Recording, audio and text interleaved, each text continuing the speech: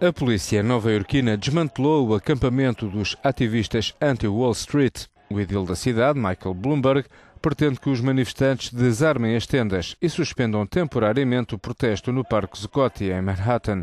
Para as autoridades, o acampamento levanta inúmeros problemas de saúde pública e de segurança. O mayor da cidade já afirmou que os ativistas poderão regressar ao local mais tarde, mas sem as tendas. A ação policial na cidade da Costa Leste desenrolou-se sem problemas. O mesmo não aconteceu em Oakland, na Califórnia. A polícia deteve 32 ativistas, mas agiu de forma menos musculada do que em outubro. Os manifestantes também ofereceram menos resistência. O movimento Occupy Wall Street foi desencadeado há dois meses e meio nos Estados Unidos, seguindo o exemplo dos indignados de Madrid. Os ativistas reclamam uma melhor repartição da riqueza e o fim da ganância dos bancos.